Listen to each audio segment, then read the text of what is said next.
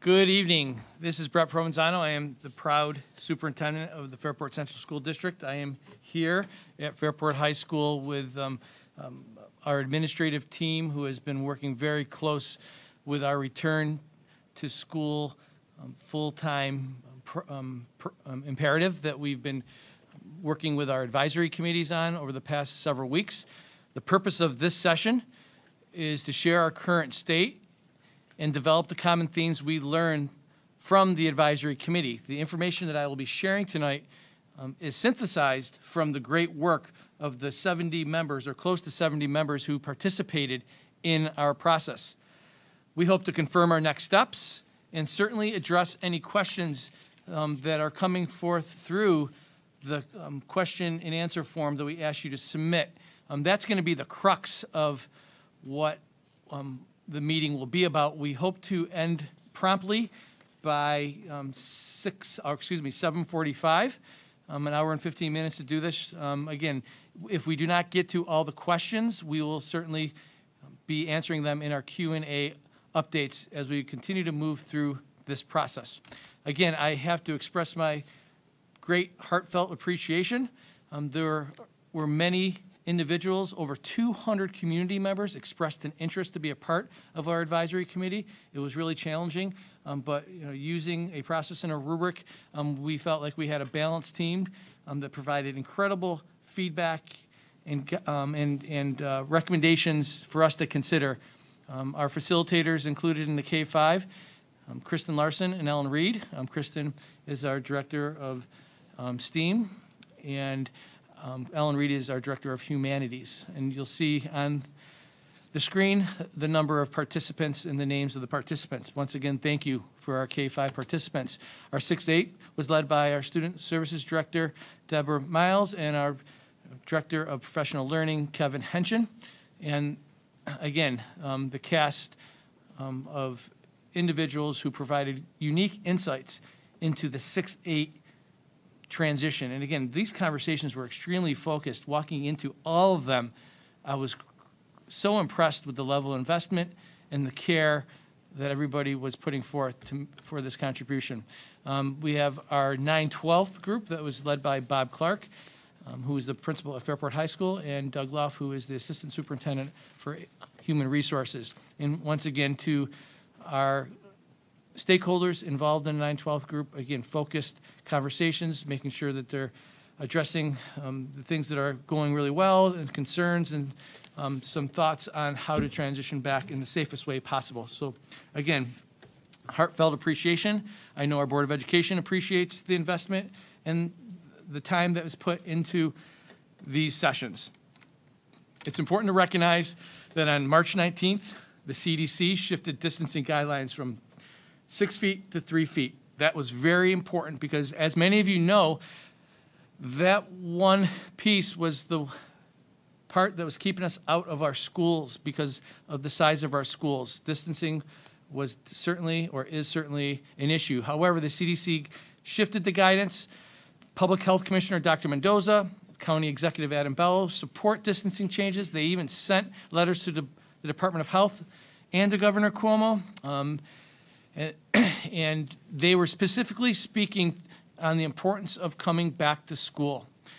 And the new CDC guidance recommends distancing modifications be in place for all elementary, middle, and high schools where community transmission is low, moderate, or substantial. And in elementary schools where community transmission is high. In middle and high schools where community transmission is high and cohorting is not possible, the recommendation remains at six feet of physical distance, again, if cohorting is not possible. Um, We have always said that we are waiting for the New York State Department of Health to provide the guidance and support. Um, But to date, we have heard nothing from the New York State Department of Health. Um, And over the pa- past couple days, I know many of you have heard that um, our county officials um, have stated the importance of getting their support for any approval to return to full-time school. Again, um, there's lots of things happening in, in the state level, and I don't need to go through those details, but it's definitely impacting um, what we're trying to accomplish. Um, However, we are continuing forward. Again, if you take a look at the CDC guidance, at the elementary school level, in the low and moderate transmission areas, physical distancing, at least three feet between students in classrooms, we can do that. We could do less than six feet and greater than three feet. We are working with our district architects um, to get a schematic of each room and its layout. Um, There might be some tight spots, but I know our principals, and they could speak to this, will be adjusting accordingly if there are tight spaces. Um, If you go to substantial transmission or the orange zone, elementary physical distancing, at least three feet of distance between students and classrooms. You could still come to school, even in the orange and red zones, if you're an elementary student. And I'm calling elementary kindergarten through sixth grade, intentionally putting our sixth graders into it. Because we can cohort at this level as defined by the CDC guidance. If we get to our secondary, our middle schools and high schools, physical distan- distancing at least three feet between students in classrooms. This could be done less than six feet, and again, greater than three feet. We are marking out each classroom. Each classroom has different variables to consider. Um, Administrators realize that if there are tight spots, they are committed to accommodating different spaces to meet these requirements. In the orange and red transmission rates for middle and high school, this is important. Physical distancing, at least three feet of distance between students and classrooms.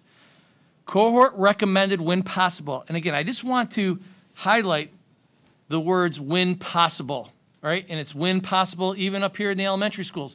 That ambiguity, um, you know, causes different groups to have different um, interpretations of what that means. But we believe in or with our contact tracing efforts, we are able to understand where kids are throughout the day. Through our master scheduling, we know where students are every single period of the day. So if there is an infection, we can monitor that, we can contact trace it, and we can mitigate relative to um, the best practices for each potential situation. Um, I think, again, it's worth mentioning, we believe that it's important to get back to schools for all the reasons why. Our students um, are benefit most from our schools when they're here. Their social interactions, um, the academic pieces are- incredibly important. But we also know that students depend on us for technology. They depend on us for nutrition. They um, um, depend on us to make sure that we can provide a safe and healthy environment so they can flourish and be the best person they can be. We are at our best when we are interacting with our students directly. They are at their best when they can experience the, um, our schools at their fullest. Again, um, the CDC guidance and the transmission rates um, are important to consider, but elementary, um, there's clarity relative to the CDC guidance, and we have a proposal through our contact tracing and our master scheduling to be able to support our students no matter what our transmission rate is. Again, everything that I'm about to share um, was reinforced or mentioned or resonated through our advisory. Um, again, vaccination, there's access now to vaccination. That wasn't the case in November or December. Um, we have dedicated links um, for um, transportation workers, our cafeteria workers. Um, I know our staff has had access, um, and that's a good thing because the vaccine does what it's supposed to do. It moves individuals who get COVID because it's not just going to go away, but it, um, it, it, it protects individuals. Um, it keeps our hospitals um, at a functioning rate. It um, same thing for our ICUs. Anything that we do, we will come back as masked. Masking will always be a part of this school year. Um, COVID-19 in-house testing, I just secured 2,500 um, tests, COVID tests, the same tests that we used this past year um, for our testing program. Um, That will help us get through the year. We would start testing to provide that assurances that our schools are safe, that our students are safe. And again, contact tracing is such an important part. I'm proud of our efforts. We have a wonderful relationship with the county when situations do occur. Um, They're great partners in helping us mitigate each circumstance. And again, if you take a look, and I'm, I'm being redundant, you know, we have sports going on right now. And that's a good thing. We want to see our kids actively engaged. They're together, right? They're coming from different parts of their day, but they're together and they're interacting. It- Then tomorrow they're coming back into our schools and interacting. Easily traced if there is ever an infection um, because of our process. And that's a credit to um, Deborah Miles and our administrative team. Deborah Miles is our Director of Student Services, and of course, our administrators help with that process. We are planning to resubmit our return to school plans to the New York State Education Department um, by April 5th. So our work continues. We have high expectations about moving forward and bringing students in person learning and virtual learning five days per week on Monday, April 19th. Now, it's hard.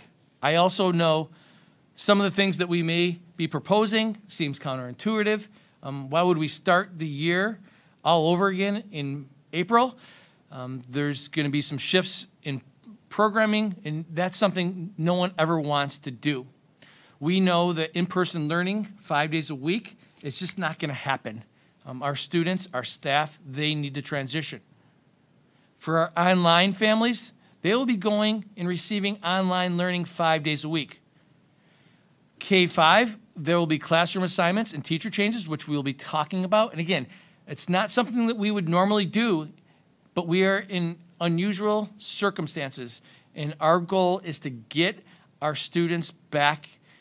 They need to experience school in its fullest form. Our 6th through 12th graders will be meeting synchronously every single day. That's lots of screen time, right? So those are things that we're challenging. And this isn't a challenging endeavor for our instructors when we embed virtual students into the classroom because we have a number of students in front of us and we have a handful of students behind us. And trying to manage both of them, that's, that is, again, um, really proud of the efforts. Um, a model that we're going to continue, though, to, to assess moving forward, but we're going to continue it for the rest of this year. And we're going to continue the K-5 virtual for the rest of this year. We believe the benefits of returning outweigh the detrimental effects of staying out. Again, um, more than ever, sadly, um, there's been um, accounts where students are just not showing up. Um, and that's, you know, that's, that, that gets at our core because we try to meet every student's where they are. We see academic struggles, we see social emotional struggles, we see, um, again, students who depend on us for nutrition.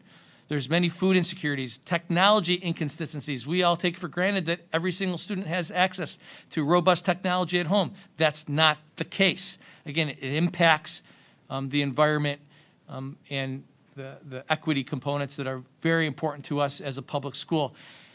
As we transition back, we will need to continue to be flexible, patient, and always focus on the bigger picture. Um, I'm not promising that this is going to be perfect or seamless, but we do know that our priority is to ease students back to school and to build stamina. A lot of students haven't been to school for consecutive days. In fact, our um, Tuesday, Friday cohorts just finished um, two consecutive days on a Tuesday, Wednesday rotation. Um, and I, I know that because I have children in the Tuesday, Friday cohort. Um, they need to be eased back in. Um, that continues to be um, a theme that was even shared through our advisory. Addressing the social, emotional, and academic needs of our students. Um, and again, I am going to always say social, emotional needs need to be addressed first. If students do not feel comfortable, if they do not feel safe, um, our environment um, is the most important thing because it will produce the learning that needs to occur. And as we transition back, what are the intentional things that we're going to do to make sure that we're meeting those needs? Our ultimate goal is to be prepared and well informed in the fall. If we do this right and thoughtfully, um, we won't have to go through the ebbs and flows of this. Our students will seamlessly transition back. We will have a productive summer program and orientations as well. Planning is critical. Teacher planning days are needed, which I'll be talking about in a moment, which will mean that we're going to be adding some student asynchronous days. We will need to hire additional staff to fulfill teaching needs for our online learners. We need teacher aides and teacher assistants to support our buildings for the range of needs and supervision, supervision that we need to run our schools appropriately. We're starting this now because it takes time to do all those things. But before you know it, April 19th will be here. And I just saw a bunch of smiles. Again, our priorities. Thank you to our advisory committee um, for providing clarity and re reassurance that we're on the right path. We really want to nurture the social emotional well being of our students. And it's about acclimating our students and staff back to a sense of normalcy. This is about prioritizing their well being, critical habits of mind to, again, persevere, show grit and resilience, and really give students an opportunity to come in and talk about their experiences. They need to learn their routines. They need to get back into school shape so they can build the stamina. This is not a race to accelerate the curriculum or to fill learning gaps. Learning is important, but if we take care of the first bullet, the social emotional components, in prioritizing acclimating our students and staff back to the normal, the academic pieces will fall into place. We are not going to be trying to make up a year's worth of work in 10 weeks. More is not better. Grading will not be punitive. We will give students every opportunity to be successful, just like we have been doing all year long. Our teachers' flexibility and expansive mindset, um, and our administrators and, and our professionals who try to support our students, um, they're, they're relentless, and I'm proud to serve with all of them. But those standards will continue to apply as we transition students back. Um, there needs to be purposeful assignments and assessments so we can be informed and understand where students are academically so we're ready for them in the fall. So if we need to adjust our pacing guides, we can adjust our pacing guides. Um, it takes time and planning to do that. That's what we want to use this time for so we can hit the ground running once again.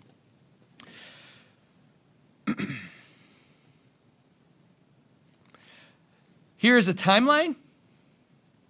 Again, this timeline has been communicated multiple different times. Um, we've been working through this week. We've had a voluntary staff meeting this afternoon with um, our staff sharing the similar information. Last night, I don't mean to go back, I apologize. Uh, our Board of Education had, um, you know, an incredibly um, hearty and, and, and meaningful conversation with the same team that's sitting here tonight. Thank you very much for being with us here tonight. I know that this is um, important to you. That's why you're here. But I appreciate your sacrifice, and I know the board does as well. But it was a, a robust conversation, um, um, and that is on our YouTube live channel. So please don't hesitate to check that out as well um, as, as you're trying to inform yourself. Um, here we are this evening, and tomorrow we will be sending out a final survey to parents to confirm placements and our transportation needs. Um, at this point, we're going to need to finalize and make decisions okay? And we'll be going through what that looks like moving forward. Um, if you do not respond to the survey, we will just assume that your current placement that you've um, chosen is, is standing. For your planning purposes, this is important. Asynchronous learning day will occur for students and a planning day for staff on Friday, April 16th. The purpose of this day is to focus on our physical spaces and plan for the first day of school with combined cohorts. Um, and, and again, it takes intentional planning. We'll be coming back um, with, with spacing requirements. We want to make sure that our environments are right to bring in our students. On the 19th, we plan for a K-12 return to full-time in-person and virtual learning. On the 21st and 28th, again, in the name of being thoughtful, in the name of assessing how the first days of school are going, the last two Wednesdays will be asynchronous learning days for students and planning days for staff. Students will have an opportunity to do asynchronous work. Our staff will assess how things are going, make adjustments, plan. And as we're doing this, hopefully, the students will eventually transition and have the stamina moving forward to complete the year. Again, we will continue to keep these dates to the forefront, um, and it's important for planning purpose that, planning purposes that you are aware that they are here. I think the most important part of this evening, after I establish the foundations here, is to get to the questions and answers. And I am going to call up our Director of Professional Learning, Mr. Kevin Henshin. He will be the moderator. We're, we're trying to monitor the, the Google Forms that you're completing. Um, we already have some questions ready. Thank you very much for your questions. Um, so we're going to start off, and you're going to be hearing from different administrators, so you're just not hearing from me. I, I think um, their depth and expertise is reassuring, and it definitely speaks to their commitment to this, this process. Mr. Henshin. Good evening, everybody. And uh, first of all, thank you to everybody out there, uh, parents and community members, for taking the time this evening um, to be here with us. Um, I also want to thank all of our educators and anybody throughout the day that touches the lives of our most precious commodity, and that's our students, and why we're here this evening. Um, in addition to Brett and the board, and finally, last but not least, every administrator in this district who is the glue behind what is happening and helping with all of the details to make this a reality for our students. So thank you. This evening, what we are going to accomplish or try to do is to answer questions that Brett said have come through the Google Forms. We looked at them and tried to, to find some themes and put them together under some specific categories. And we have various administrators here this evening to help answer those questions. So Brett shared with us a little bit earlier the why we're going to bring students back, even 10, 11 weeks before the end of the school year. So we've already established that particular um, baseline. But what we heard in the message was do no harm to our students, make them feel welcome, make them feel safe. Let's, let's deal with their, their social, emotional well being. And my question is one of them that came in is, you know, how will the district specifically um, prioritize the emotional well-being of students when they return, and what will that look like? Thanks, Kevin. Uh, This is Deb Miles, uh, Director of Student Services. So I'll start out just by sharing, I mean, I think we heard very clearly from our superintendent that uh, the health and wellness of our students is a top priority as we transition back to school. Um, One of the things we think about first and foremost is just building up that stamina to return to a five-day week of full learning. Um, so I, we will certainly be communicating with our families, you know, from our schools, from our district, in terms of what are some things that you can be doing at home to start to reestablish those back-to-school routines. You know, we know that when kids have, you know, days off in between, or maybe even a day and a half where they're not, you know, getting up and attending school.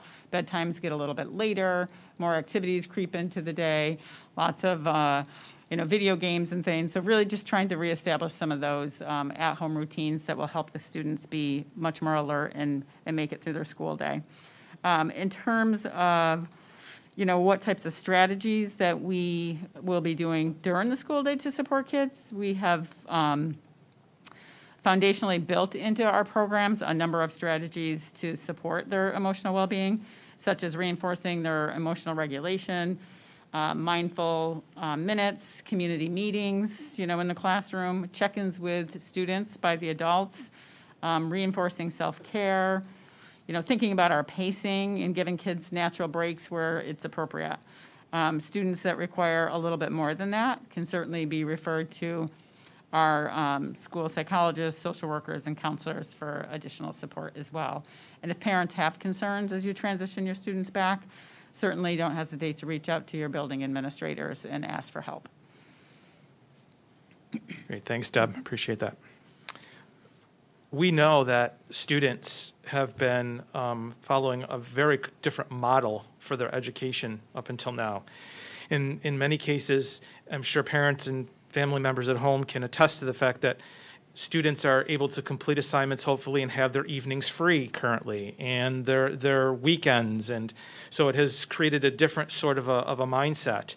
And now that we're transitioning back into school um, I know that the question is on minds, as it was for many parents here, about what the district's plan is um, at the various grade bands um, to address not only the curriculum, but the homework, any extended assignments, testing from the point that they return till the end of the school year. I can start that one off. This is Meredith Coos, principal at Brooks Hill, and I'll speak on behalf of the elementary group. So um, in addition to the things that Deb just mentioned about some of the social emotional uh, things that we'll do right in the classroom, such as community building, uh, the exciting part is that for many of our classes, these cohorts were together at one point on the virtual Wednesdays, and we'll have the opportunity to now be back in person together in person, which uh, many elementary students are looking forward to if you talk to them. So there's a lot of opportunity to build into the day some of those things that Deb was just talking about. And we want to be cautious about not overloading, like the superintendent said earlier, the curriculum needs. So when it comes to finding the balance, we will certainly be continuing the pacing that we've been doing. We're not hurrying that up and adding more to what we're expecting students to be doing during the day. We're going to make sure that we're doing it at a pace that they can handle with five days a week and to a depth that allows them a little bit more understanding than, than they're able to gather in such a quick paced uh, week now. In terms of the homework specifically, Kevin, you bring that up. We at K 5 really believe that, much like the beginning of a normal year in September would occur, it would be a slow roll into, you know, about a six or eight week period before you'd start to see a real increase in responsibilities in the evening. So we're anticipating no real uh, depth of homework in the evening. We want kids to focus on the day, get back into the routines, make those connections with their teachers, and have that be the focus. What we can see continuing, which is always good for kids, is an emphasis on reading with your child, you know, continuing to practice some of those, uh, you know, sight words or math facts or some of the things that we naturally do with our kids at home on a regular basis. So there will be some of that, but nothing too extreme because we want to focus on the social emotional aspects and the curriculum during the day. I'll pass it off to uh, the middle school to perhaps add their. Thanks, Meredith. That's well said. I'm Dave Dunn, Principal Martha Brown, and Pat Grove, Principal Johanna Perrin. We're talking about this, uh, this topic right here a lot. Uh, About a a year and a week ago, our teachers, of course, were dealing with uh, trying to read the room, and the room was empty, and the faces were on the screens for the last 15 weeks of last year. And it was difficult for them to actually read the room because some of the kids weren't having their cameras on, so it was really difficult for the teachers to kind of get a feel for each of the students in their class. I'm thankful that the, uh, the district plan has some uh, days for the students to actually get ready for uh, the first day, that, that, that synchronous day on Friday before, as well as the, the two consecutive Wednesdays, because it's going to give them an opportunity to really read the room this time, because they're bringing both cohorts back together. They've never done that after this about 30 weeks. It'll be a kind of a new class configuration for them, as well as they're all virtual students as well. So I think that they're going to use those first two Wednesday planning days very, very carefully to make sure that they've got the, got the read for the room. Uh, The message from us is this is not the time to make up 70 years of U.S. history. We're, we're not, we're not looking at doing that. We're looking at uh, more, maybe more focusing on skill building these last eight weeks, knowing that, uh, you know, the months of May and June uh, bring their own, their own um, issues to schools when it gets hot towards the end of the year. So our teachers are really going to be balancing the opportunity to, to connect with their kids as well as work on building some of those skill gaps. And in terms of the content gaps, you know, we dealt with that last, last year. Uh, Our teachers do a lot of talking amongst uh, themselves as well as the grade level above. So it was pretty clear what content didn't get covered as we started school, the school year in the fall. Our directors certainly had played a large role in that as well. And we anticipate having to do that again this year because we know we're not going to get the entire year content covered. But again, our teachers are, are pros at kind of reading the room and kind of feeling exactly how much they can do without compromising the, uh, the emotional and social needs of our students. So the strong message, at least at the middle school, is going to be more is not better. We're not looking to pile on homework. We're really looking to be recognizing the fact that these kids are now here five days a week, and they're going to perhaps get, get work maybe, maybe of those five days, and we want to make sure that the amount of work that they have is somewhat uh, reasonable for them to accomplish. Uh, What do we got here from the high school? Uh, and Bob?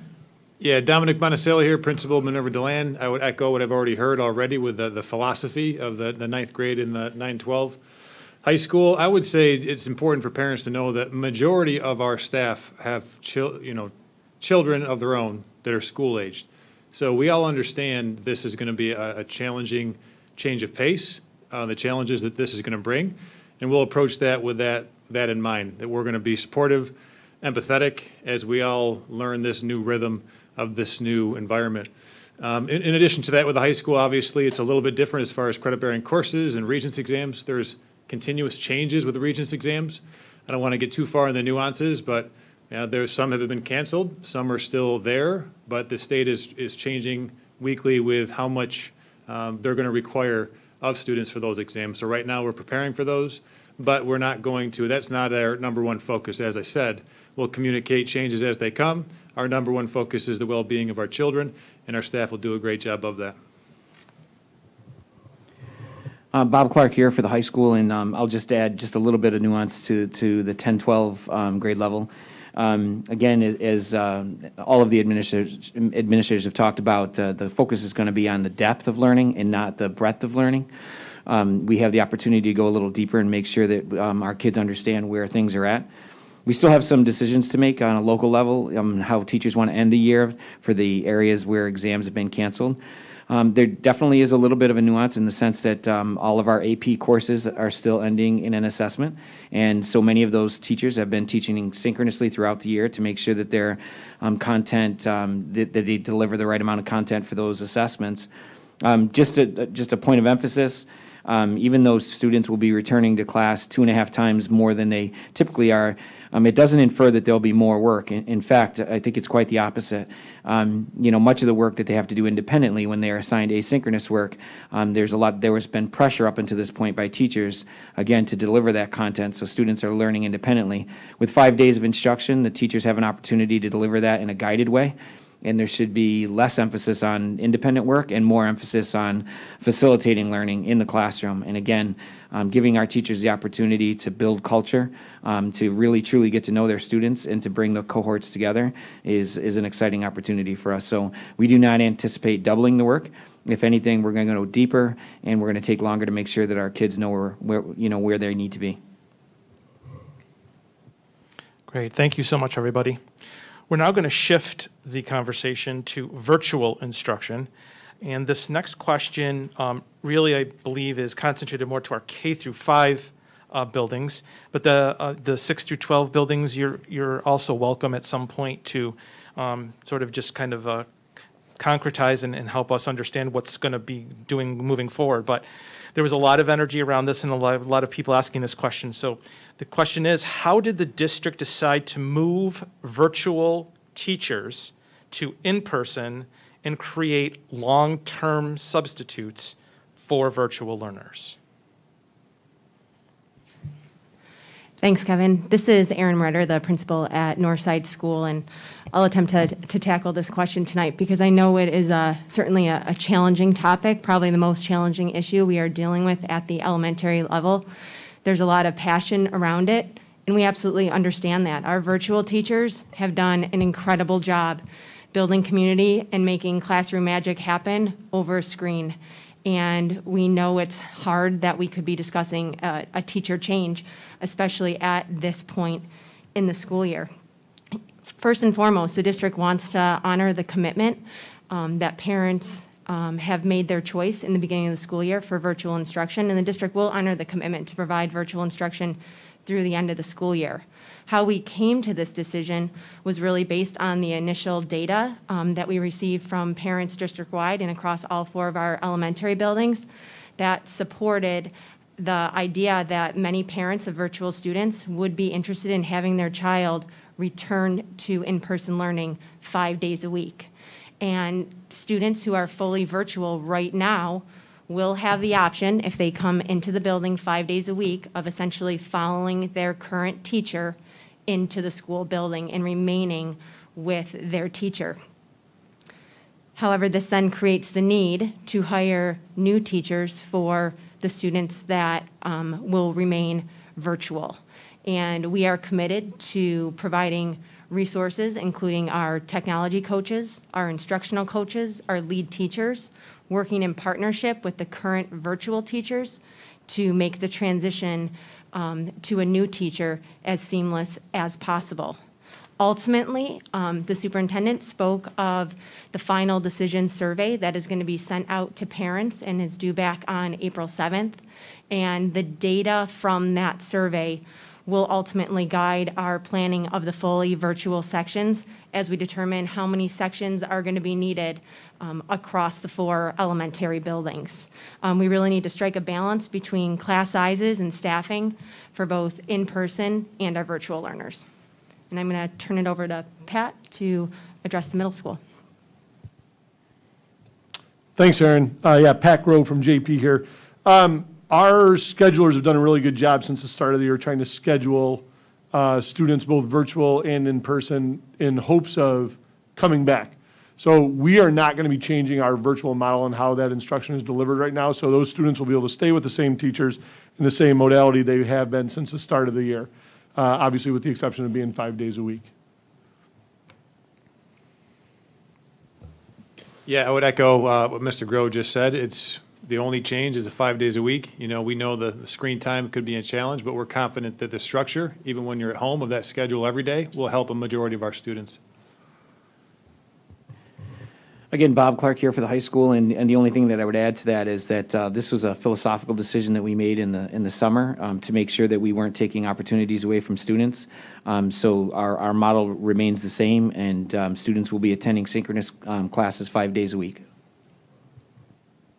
Thank you. And, and just as a follow-up, um, with regard to our K through five, um, friends, um, can you show us or tell us a little bit more about what the, the day is going to look like in terms of, will there be breaks? Um, what, what, what could specials look like for, for the students in those grade bands? I'll start, Meredith, that's okay. Good evening, everybody. Ryan Charno, proud principal of Jefferson Avenue. Virtual specials will certainly be a part of the, the five-day program. We know that special area classes are vital into creating well-rounded and balanced individuals, and we know that that needs to continue in the virtual setting as well. We also know that special area classes provide a nice break to the core academic uh, day in a schedule. So we certainly know that that's going to be even more valuable as we transition to five days. The, the who and uh, the when and the schedule of who will be teaching those classes, that is the, the, the work that all building leaders at all elementary buildings will be working on at this point as we look at scheduling uh, and the logistics of teacher assignments for that. But certainly, we will create a schedule so that every virtual class will have a schedule each of the five days. And we know that our special area teachers, we're confident and they are ready. They cannot wait for the increased contact with students, both virtually as well as in person. And uh, we know that the value that they play in the day for our students is uh, really important. So it will be a part of the virtual program. And Meredith, do you want to talk a little about what that virtual program schedule might look like in the other areas? Yeah, that sounds great. Thanks, Ryan. Uh, In general, uh, the virtual program so far, uh, while being two and a half days in general for most of the year, uh, has, has not been a full day for our K-5 students. So I think there's a little bit of a misnomer that kids are on at the elementary level, you know, right from the start of the day through the end of the day. Our teachers have been fantastic, as Aaron said earlier, uh, at finding ways to balance both the academic times along with, you know, community building opportunities, a little bit of fun in there, of course, time for play, time for breaks, time for lunch and specials, and all those things that are important, whether you're in person or virtual. The way I like to explain it is with the five day a week virtual program, we're increasing the number of hours that a child will be on a screen and engaged with their teacher over the course of the week, but we won't be increasing it over the course of a day. If anything, I might predict that the day might have a little um, less you know, on the screen time straight in a row. So if I have my two cohorts together and we have five days, as a teacher now, I might have the flexibility to do some whole group instruction, allow the students to go off and do um, some independent pieces while I'm working with small groups and bring them back and forth. So I think what you'll find is a nice balance of more time consistently over the course of the week while not making any single day overwhelming. Again, the younger the students, K2, looking to still build in plenty of breaks, uh, the things that Deb referred to earlier, the mindfulness, the community building, the play, the things that our district stands for. Dave Dunnigan at the middle school, and uh, good news is for all of you parents in the community, you're going to get another schedule. And that schedule, at least at the middle school, is going to be a day one, day two. So that'll be your lifeline for the rest of the year. That'll kind of walk you through. Good news also is our, our phys ed teachers will see the kids twice a week now, actually uh, two and a half times, twice one week and three times the next week, as opposed to just one day a week. So there is some benefits to coming back in terms of our special areas. They're just going to have more contact. Uh, But their special area schedules won't change at all. How they're seeing their teachers now will be the same, only just with more frequency. Uh, We'll also pretty much have the kids uh, math, science, English, social studies, foreign language, so they're going to be cammering in uh, a minimum of five, five periods a day. And then, of course, we don't build in a lunch, so that's going to be a break time for them. Uh, Study hall will be a break time for them. And if they have like lit lab or la- uh, math lab or any kind of special education supports, uh, that'll, that won't change either. That'll be the- same, only just with more frequency. So there will be some breaks during the course of the day, but truth be told, I mean, it is going to be, I'm going to say at least five, six periods a day in which the all-virtual students will actually be, be engaged within their classrooms.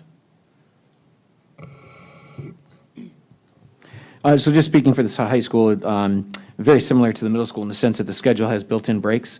You know, most of our students will have a PE, study hall, um, lunch, some kind of combination of that on a daily basis. So um, while we, we recognize there'll be an increase in the number of, the frequency of the days, um, right now, they're either on a two week, two days a week or three days a week with the, the way that we've been rotating Wednesdays.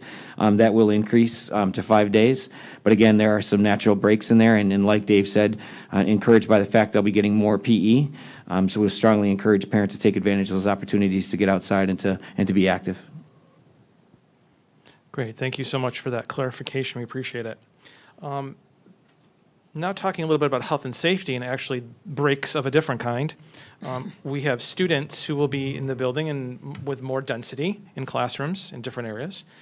Um, So the question came up about what is the plan to give students safe mask breaks if they're only three feet apart in the classroom? Yeah, so our masking protocols need to remain in place, uh, especially due to the reduced social distancing and also despite vaccination. So when possible, masking breaks should take place at natural breaks in the day as well as outside.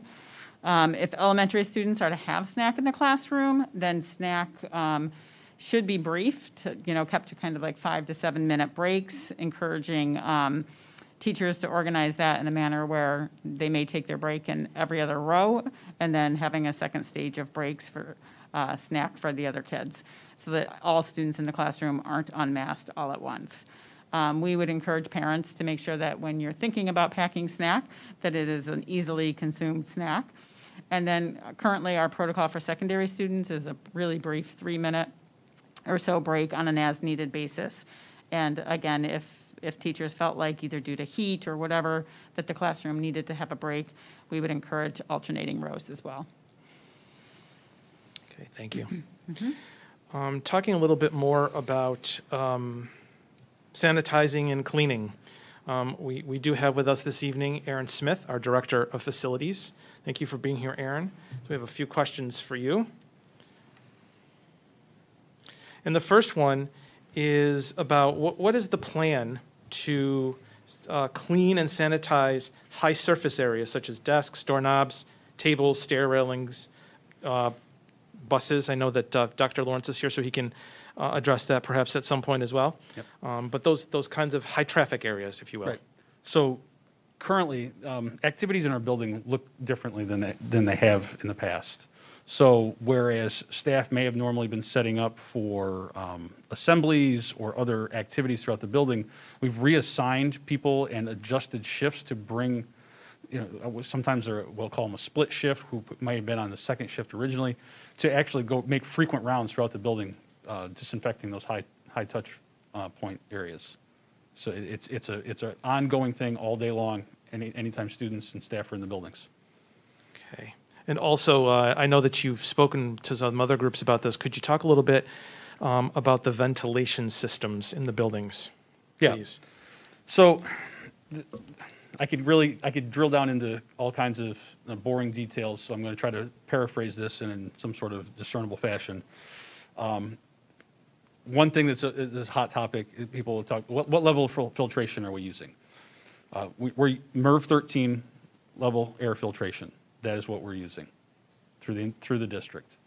So that's, that's a, that's a key point we receive the um, airflow and air exchange standards from ASHRAE, which is the American Society of Heating, Refrigeration, and Air Conditioning Engineers. They're the ones that set the, the airflow standards and how many cubic feet of air a minute and, and air- how, how, how we achieve those standards. Um, We, we, we meet all of their marks on all kinds. So it's, it, it- in the worst of circumstances, we have a minimum, an absolute bare minimum of one full air exchange an hour, and that would be if it's zero outside.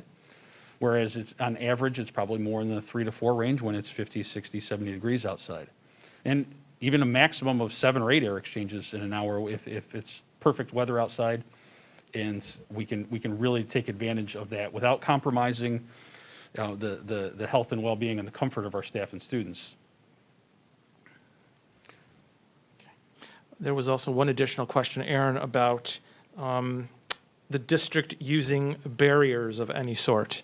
Um, If you could comment on that, of what we've done to this point for safety reasons and why we would or would not do that moving forward in certain instances, please. Before I let him jump into that, I just want to preface that, I mean, that's been a big topic of conversation.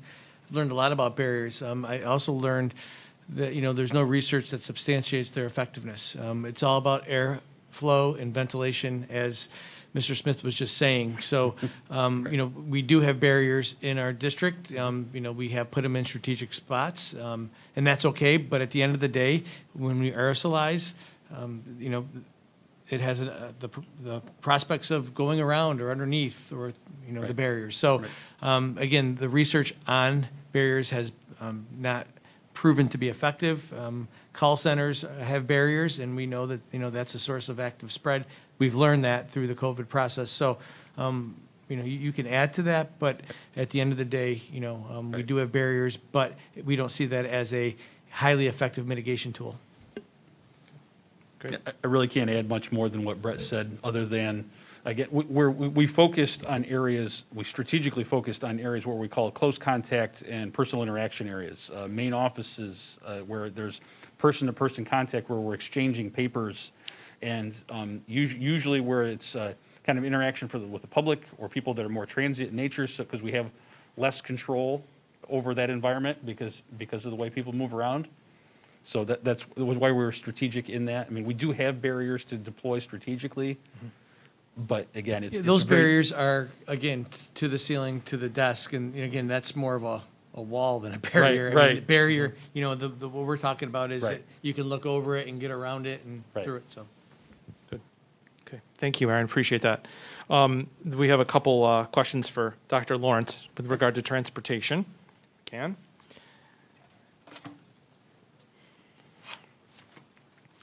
So one of the burning questions, Dr. Lawrence, is when and how will we, as families, indicate our preferences for busing or transporting our children?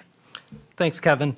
So Dan Koistic and Diane Griffith from our Instructional Support Center have really done a great job creating a final decision form that'll be sent to parents in the near future to make your final determination of full-time in-person or full-time virtual programming.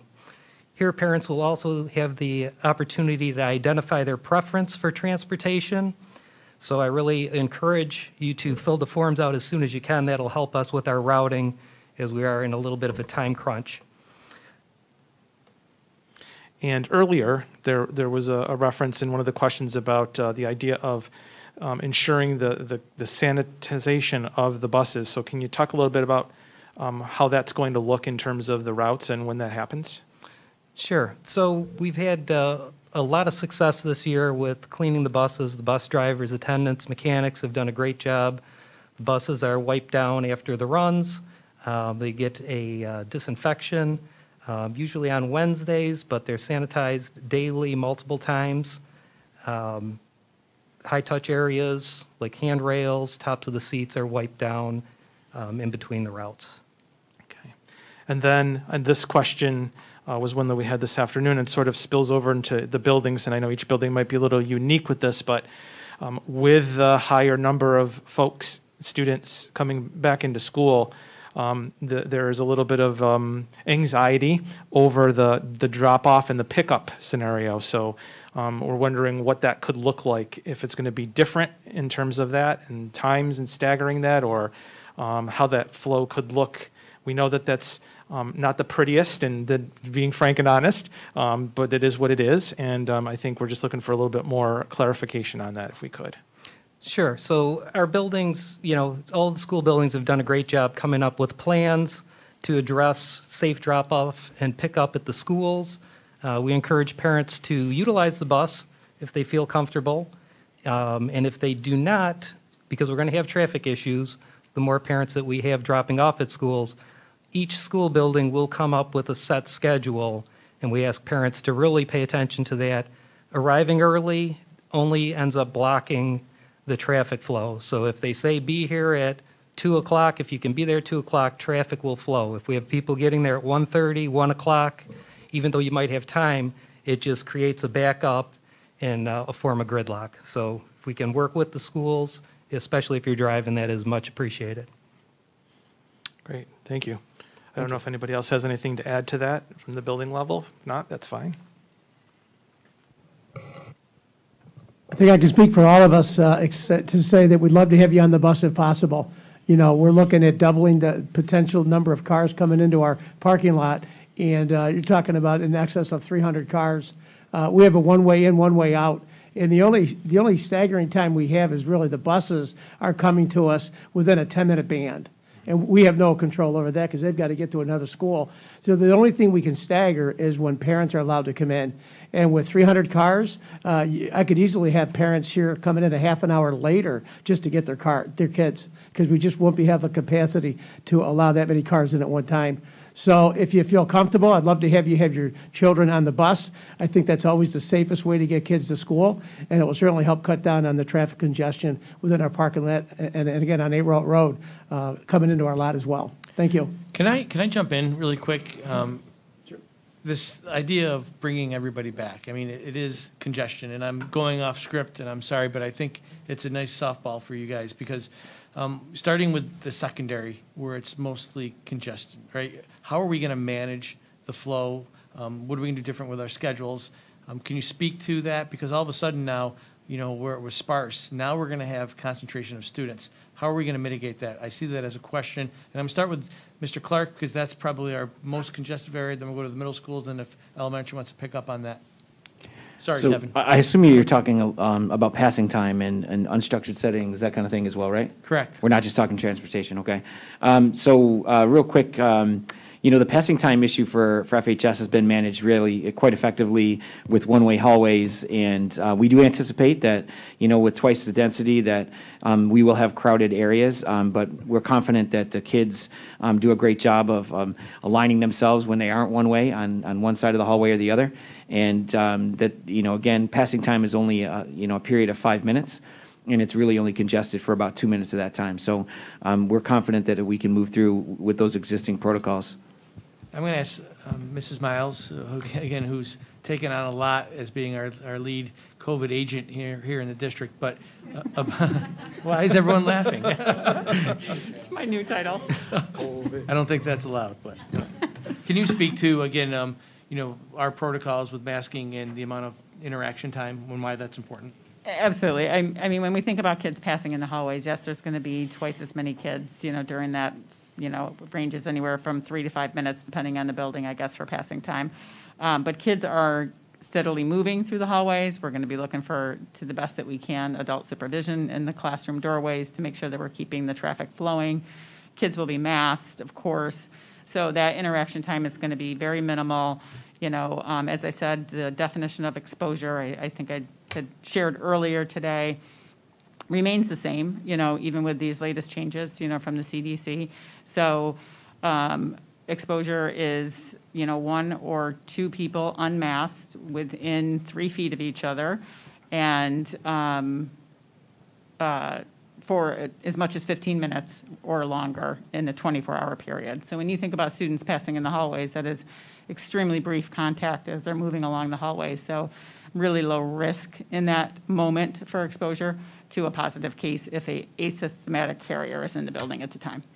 So you, you couple that and you compare that to like wrestling, right? Sure. And we, we won't get into that, but I'm saying to you, like, you know, that, that's an important factor in this conversation. We understand that the increased, you know, density is going to occur. We're going to try to mitigate it with one-way traffic, but I also want to send it now to our middle school friends um, to talk about how we're going to add another layer of mitigation to this.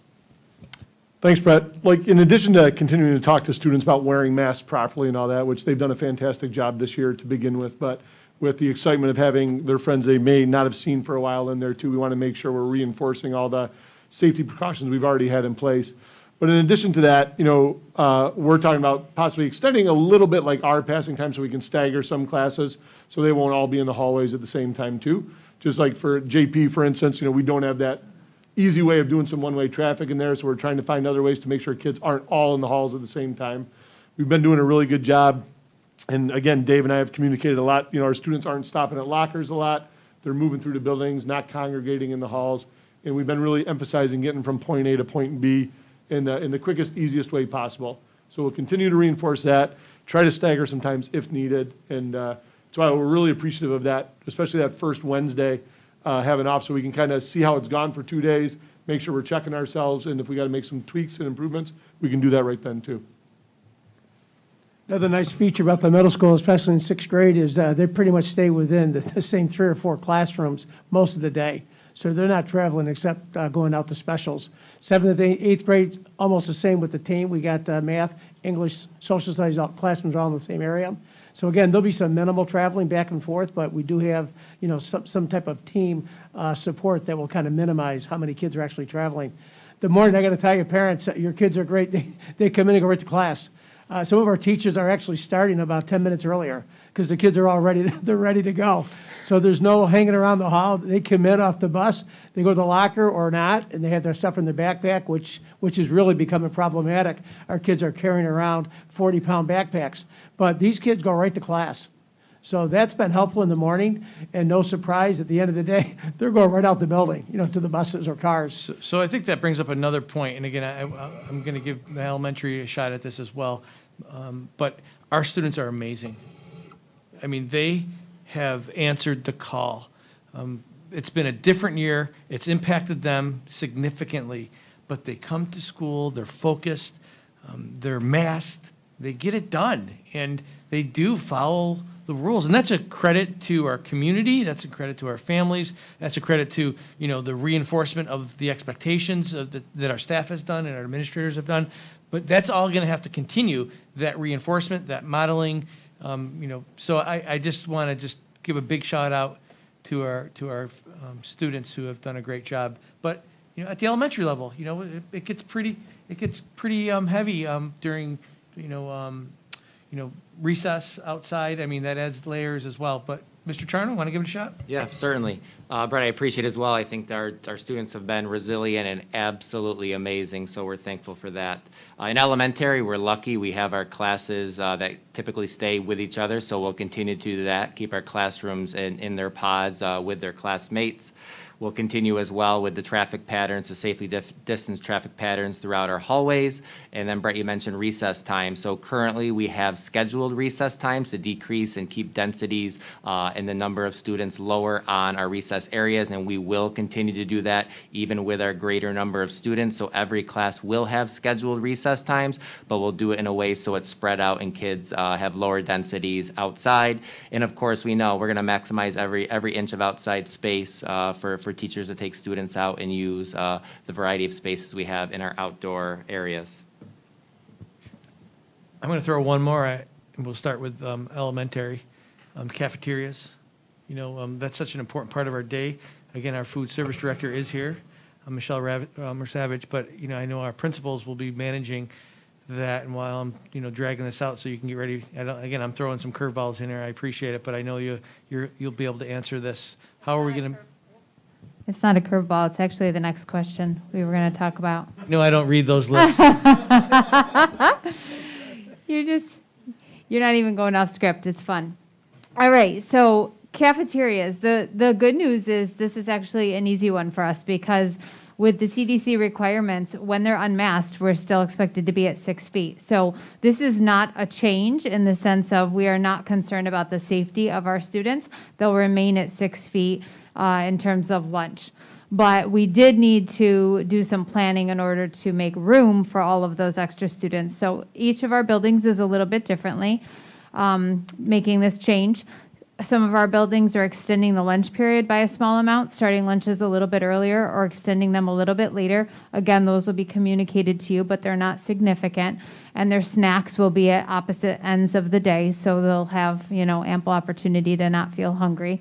And in other buildings, we've been able to expand further into other spaces that we weren't using for cafeterias. So in terms of cafeterias and lunchtime, we feel really good about the way we're set up at elementary. And Deb already spoke to snack earlier. I think she said it, but I'll just reiterate it. Snack, now that we're getting towards springtime, we'll encourage it to be outside as much as possible, but we do have some indoor plans in order to keep that six feet distance for short periods of unmasking. See how I made that nice and easy for you? Yes, thank you. Thank you so much. Pat or Dave? Uh, Yeah, I got it. Thanks. Meredith answered that very well. You know, same thing. We're going to continue with our current setup uh, for kids and just finding some alternate locations uh, for the new students that'll be coming in when we're doubling up here. That'll include possibly using some outside space when we can, uh, classrooms, so they're spaced apart, like Meredith said, so would- they can be masked but be safe, safely distanced, so they can enjoy their lunch. So, and we'll communicate that home with parents. Once we, once the survey comes in, we know our numbers that we're dealing with, where we can sit them safely, and where they'll be. So we'll communicate that home as soon as we have all that info. Yeah, Dominic, Tom Monticelli here again, proud principal of Minerva Deland. Lunches is going to be an easy one for us.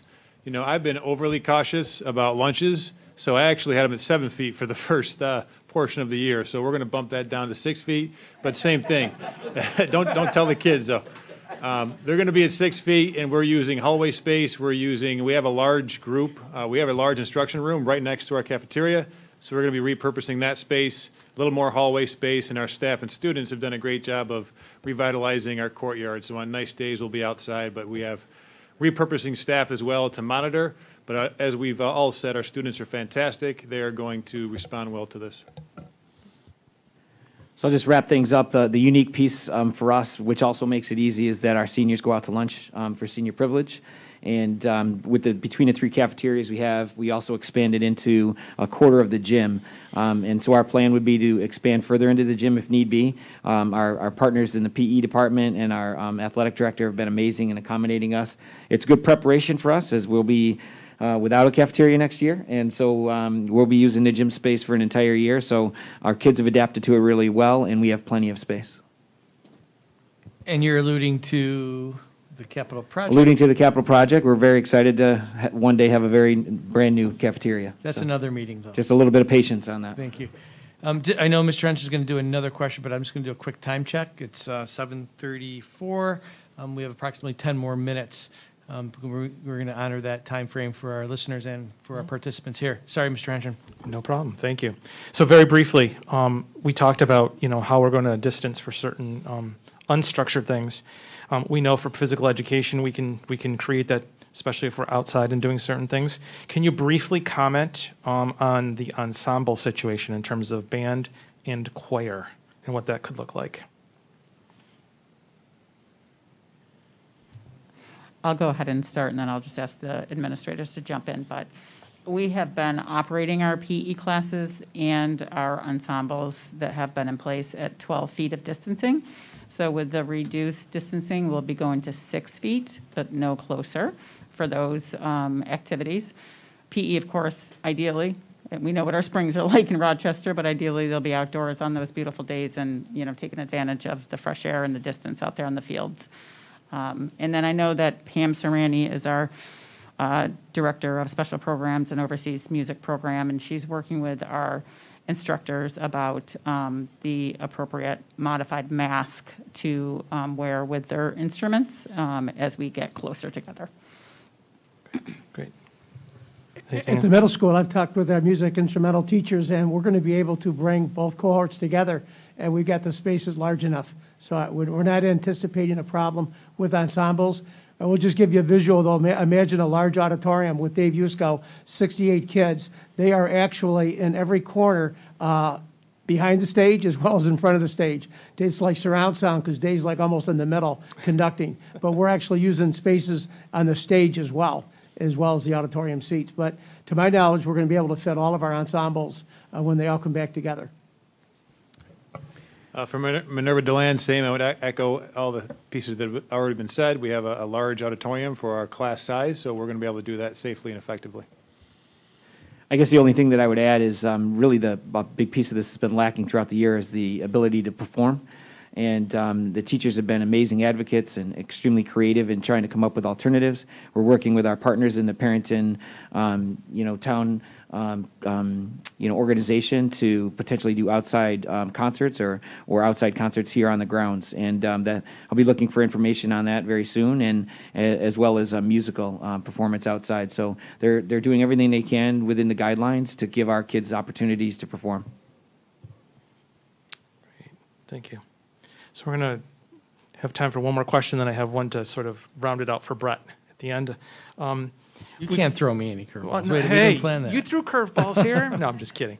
So we know that, um, you know, we want to be reasonable with our students when, when they come back and make them, you know, hopefully feel comfortable and, and be reasonable about what we're expecting from them in terms of assignments and, and other things. Um, but we do have some families that are, are very curious to know at the end of the year, how will I know where my child is faring in terms of their academic progress?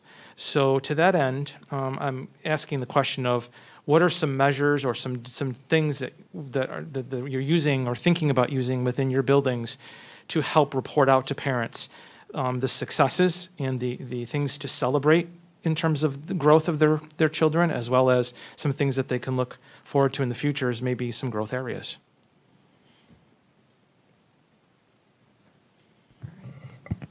So at elementary, our teachers have been measuring students' progress since, since September, using a variety of assessment tools.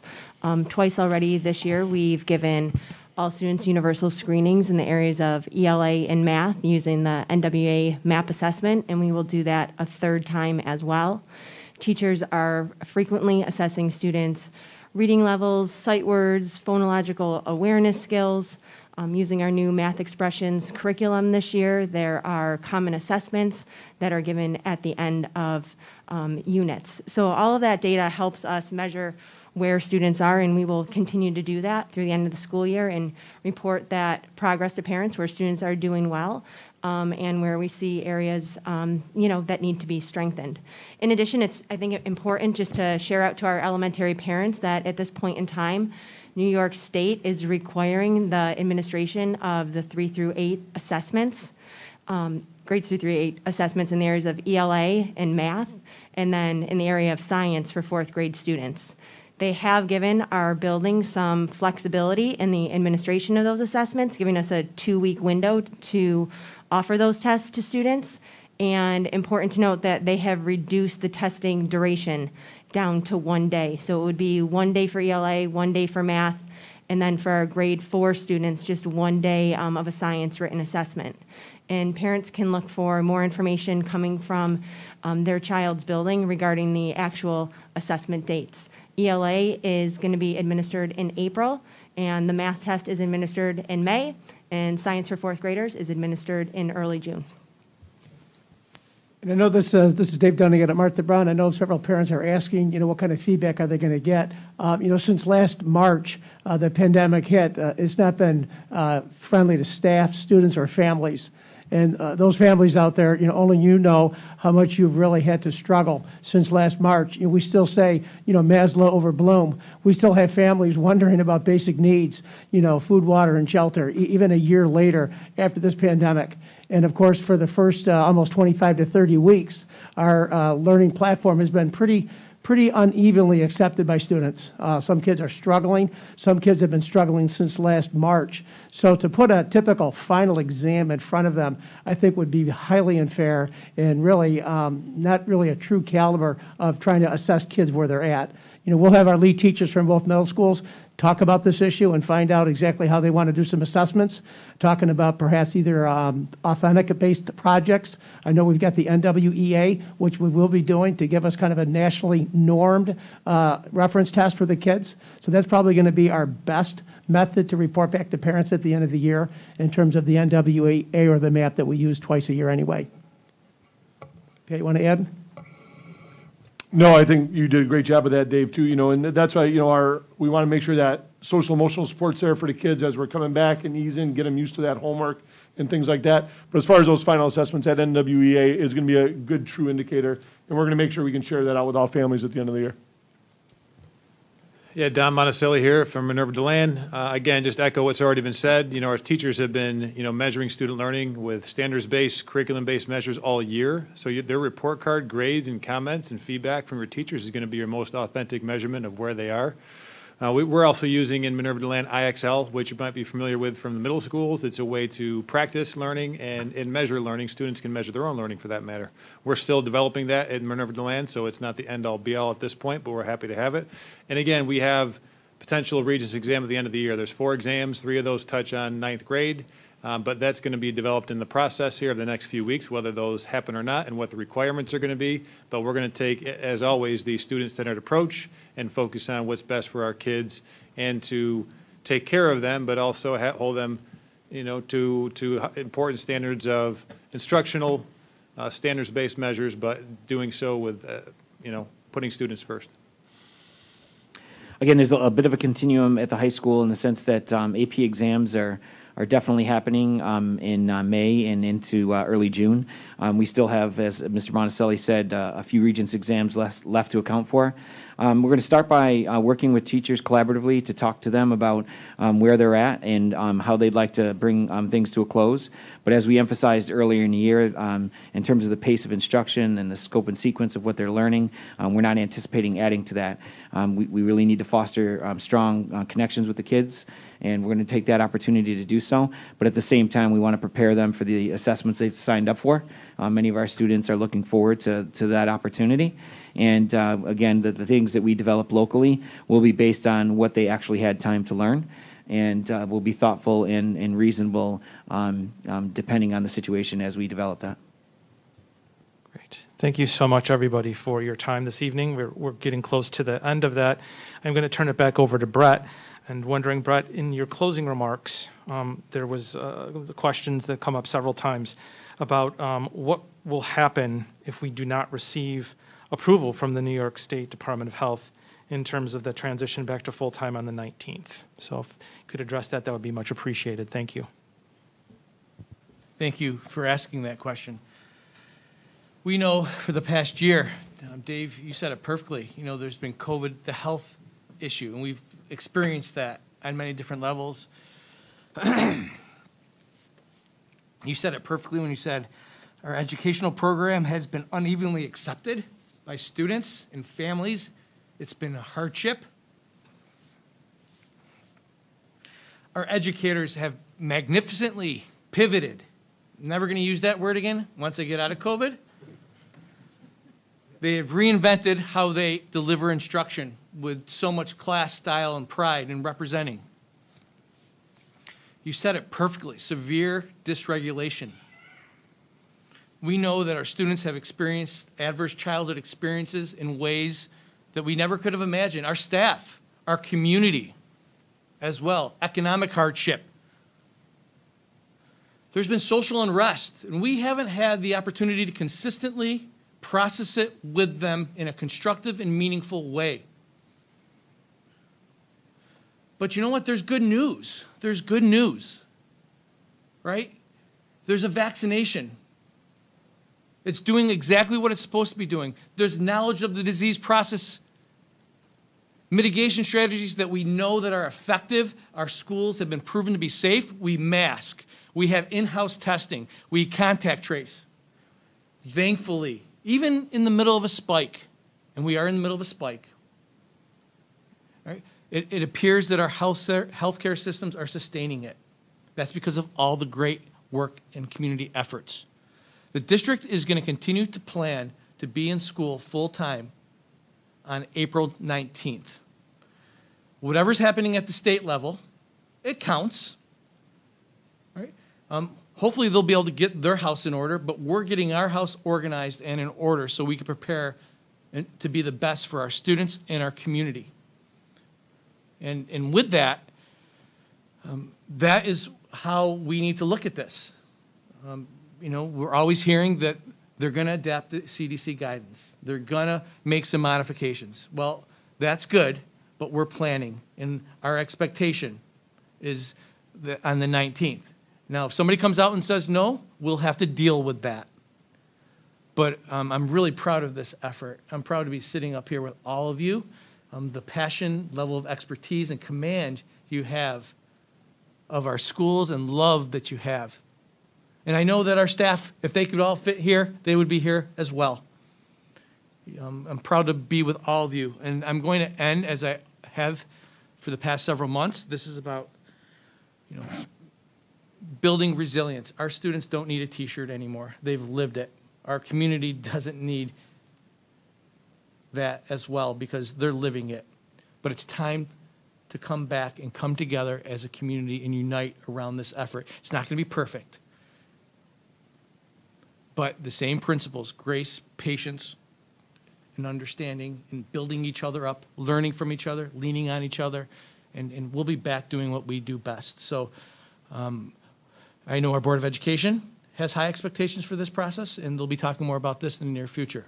And with that, um, I'm going to be signing off. Um, heartfelt appreciation to those who have um, um, visited with us here tonight, and of course, um, to the administrative team here who um, dedicated multiple evenings to be a part of this process for the betterment um, of our school community and most importantly, to serve our students. Thank you all. Have a good night.